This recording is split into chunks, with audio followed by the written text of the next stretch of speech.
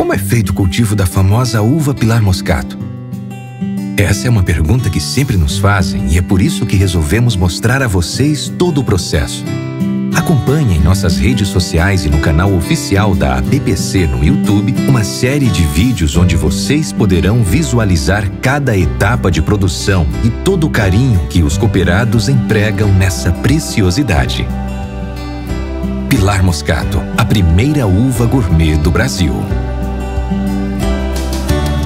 APPC, unidos, inovando a fruticultura.